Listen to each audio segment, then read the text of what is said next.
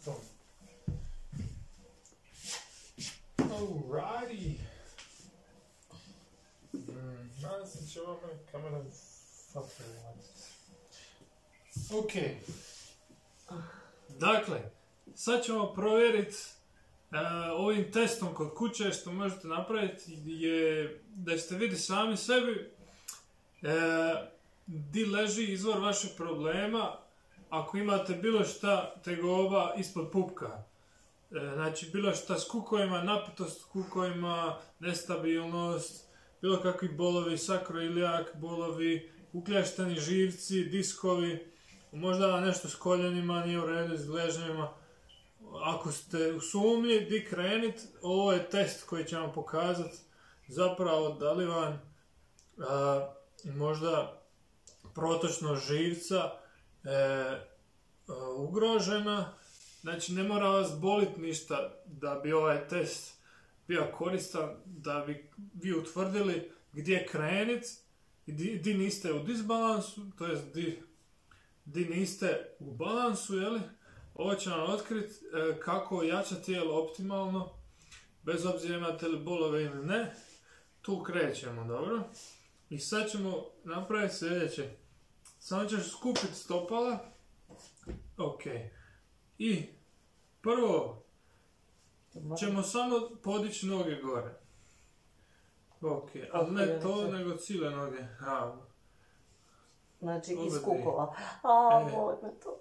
Ok, i sad, ako vas ovo boli, e, prvo ćemo provjeriti da li lijevi i desni gluteus su jednako aktivni. Aj sad spusti.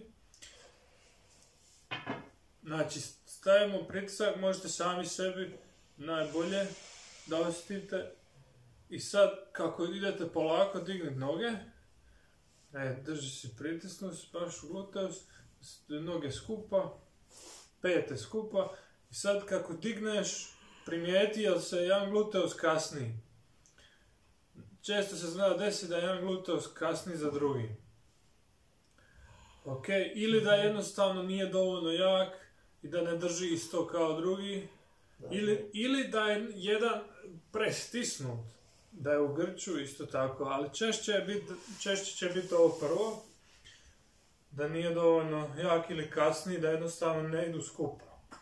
Ok, i sad, dok to testirate, dok istražujete, uh, vidite, i ako imate taj gluteus koji kasni, ta strana koja kasni, vama je živac, ne definitivno, ali velike su šanse, jako je precizan test, odnosno procjena, da bi mogao biti ugrožen protok tog živca, piriformisa.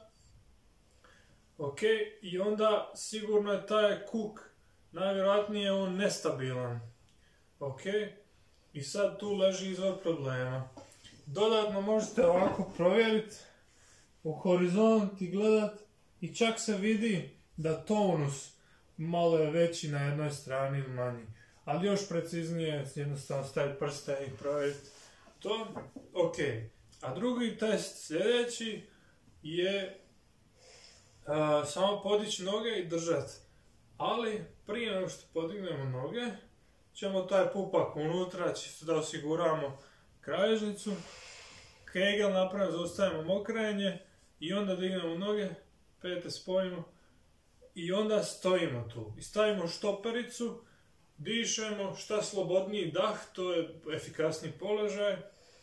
I već će ovo početi rješavati problem ako ste pupak prije unutra e, znači uvukli, već to će naučiti e, taj gluteus zapravo da radi, jer uzrok problema je da vam taj unutarnja jedinica nije bila aktivna. Jer vi izdahom napravite pupak unutra i to je ta dijafragma što ide gore i ta leđa e, čuva od tereta, a vi ste u isto vrijeme e, pupkon unutra i zaustavili ste mokre, napravili ste kegel, to je s ove strane i te dvije stvari ste napravili tenziju, a to je sve skupa sa ovim, imamo jedan mišić koji se zove transversus abdominus, a vama je bitnije da samo znate da je to mišić koji je kao remen, kao pojas. I kad ljudi stavljaju te pojaseve da se zaštite i rade mrtvo dizanje, oni zapravo simuliraju taj mišić i zapravo taj pojas njih čini još slabijima i potencijalno se mogu ozlijediti zašto ne, ne, onda ne treniraju taj mišić.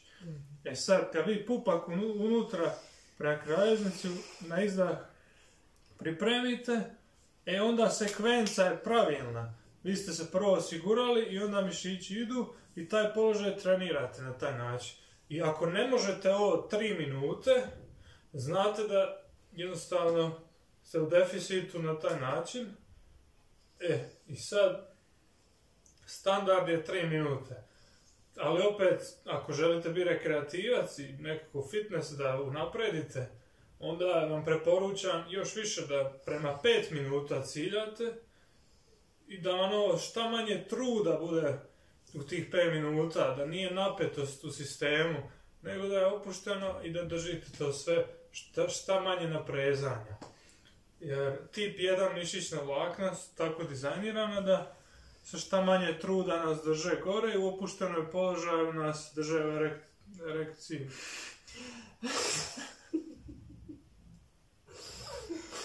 Ajde.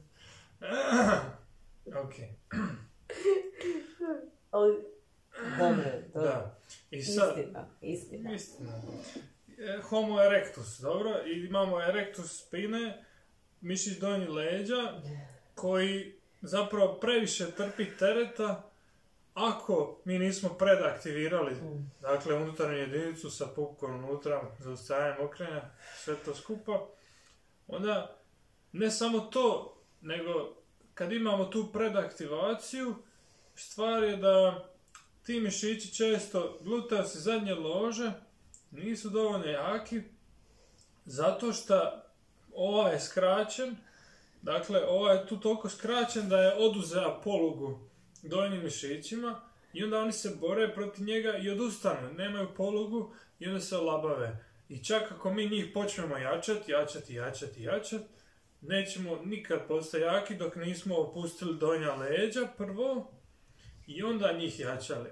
A s druge strane, ako mi opuštamo donja leđa i stežemo ih, i to nam neće pomoći ako nismo odmah nakon istezanja aktivirali gluteus i zadnje lože u simbiozi sa našom unutarnjom jedinicom i onda nekako reprogramirali sustav. Ako ne napravimo cijeli ciklus, šta većina terapeuta i trenera priskaču i ne dovrše to jer žele previše vježbi, bitnije je napraviti jednu vježbu i pola sata se koncentrira na taj jedan sistem, dovršiti to i dalje sa životom, jer tu se kreće, iz ove pozicije se kreće da kao što dijete nauči hodat, i iz ove pozicije do uspravnog položaja ima puno toga između što se nalazi.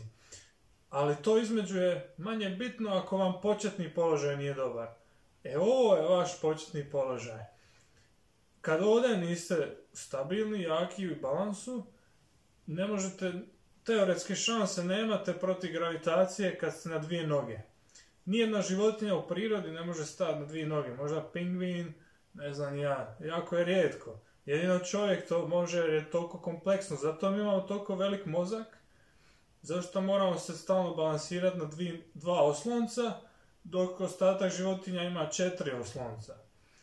I zato je pametnije se vratiti nazad, korak nazad, kad smo bili bebe, kako smo naučili hodat, tu postaje jaki, naučiti puzat i sad, e, ovo ćemo izbrisati, ove viške informacije. Nije, ja uživam. Ne. Ja uživam.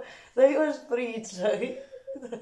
Dobro, i sad samo ti ja dat bitnost koliko, e, ako vi idete neki pilates, joge i pustite grupne treninge, da zapravo bez ove baze, ako niste se testirali kod kuće i ne možete 3 minute držati položaje, e, kao što smo rekli, sve ostale oblici vježbanja vam neće ojačati tijelo, zato što se borite protiv vlastitih sila u tijelu i vlastitog disbalansa, ok? A s druge strane, možete trenirati puno manje, jer ovim mišićima samo trebaju 3 do 5 minuta tenzije. I sad ću vam da recept zapravo, da ovo radite svako jutro. I sad, am Petra probaj držati gore, pa ćemo vidjeti koliko god možeš izdržati. E sad, ovo ćete ujutro početi radi, aktivirate sustav. Uvijek prvo pupak unutra i onda dižete noge. I to držite koliko god možete, samo jedan put ujutro. I to je to. Idete ostatak dana živjeti život i, i sprem, bit ćete spremni za taj dan, zato što ćete donijeti balans u sustav. Ali, ako vas počne boliti dok ovo radite, sad ću vam dati strategije kako se s tim nositi. Prvo i osnovno, zašto vas može potencijalno ovo nadražiti problem, je ako niste uvukli pupak unutra prije nego što ste digli noge. I napravili kegel, odnosno na izdah uvukli pupak, taj proces. A, a sljedeći razlog zašto vas moglo boliti je zato što vam je potencijalno piriformis možda jako napet i onda njega istegnete pa onda ovo radite. E, ili jednostavno se previše naprežete i ovu poziciju držite s previše truda. To vam može uzrokovati problem. Znači, dovoljno je samo digniti pa držati 5 sekundi ako možete 5. Ne trebate forsirati, ali držite koliko možete. I što manje truda, to se više računa da ste pogodili ta vlakna. Drugi razlog je da napeta donja leđa mogu biti. I onda pomogne i stegni donja leđa prvo. I onda ovo raditi. I onda će vam biti još lakše, poluga će biti još efikasnija i to možete znati da testirate prvo imate li lordozu ili ne.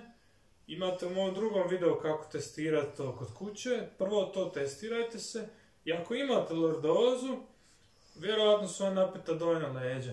I onda opet u drugim videima ću vam objasniti sad nakon ovog videa kako istegnuti donja leđa i onda ovu vježbu nakon da instalirate snagu u sustav ali ako vam donja leđa nisu napeta, ne treba ni stezanja. Eliminirajte te, znači, preduvjete. Donja leđa, ako su napeta, ostegnite ih. Perifornis ako je napet, stegnite. I onda ovu vježbu, i vi ste na konju, i onda možete jačati i taj ciklus ponavljati. I nekim ljudima će tribati svaki dan ta donja leđa opet i opet istegniti i uvjeriti da se opuste i onda polako početi s ovom vježbom, a s vremenom ćete sve manje manje istezanja, a sve više više jačanja i to je cilj. Da prevagne ta vaga i onda da dođete do točke gdje ne trebate nikakvo istezanje, nego odmah možete ići u snagu. Ako ste žensko, većinom možete krenuti prije sa snagom, jer ženama ne treba baš puno fleksibilnosti generalno, oni su već fleksibilne, ali nestabilne u zglobovima. To je tendencija koja je zapravo e, fiziološki je tako žena e, kreirana i zaista njima e, jako da osjećaj stabilnosti ova vježba i ovo radite dakle ujutro probudite se, date malo tenzije i tonusa u sistem, uvijek pupak unutra prije kretnje držite položaj bez truda, maksimum neki svoj a, i samo jedan put taj izdržaj ujutro. Nemojte više od toga, jer ako se umorite u ovoj poziciji do maksimuma, baš izmorite ovaj sustav ujutro ili prije treninga, onda se možete ozlijediti jako vrlo lako, jako visok rizik od ozljede. A s druge strane, e, morate moći taj sistem izmoriti do kraja, a njemu treba 3 minute da se izmori i možete bilo kakvi način, možete dignuti 10 sekundi pa, pa spustiti, od, odmarate uvijek pola od onoga što ste radili, ili možete pola, 30 e, sekundi možete držati pa odmoriti 15. I onda varirati malo 10 sekundi, malo 30, samo da skupite 3 minute Odmor se ne računa, znači ovaj aktivni dio mora biti 3 minute, minimalno 5 minuta maksimalno. U tom dometu, čim ste vi prešli 3 minute tenzije, vi ste efikasno umorili te tip 1 mišićna vlakna koja su posturalna i onda oni trebaju odmor i zato to radite na večer. Ta vrstu treninga da bi onda se izbjegli vrst, nikakve potencijalne ozljede jer taj sistem će se odmoriti na večer i jako brzo se odmara, mali su mišići, mislim vamo radi gluteus, ali ne vlakna brza od gluteusa, nego spora i onda njima treba puno brže se odmaraju, puno manje im treba odmora. Odnosno da, puno manje im treba vremena da se odmore.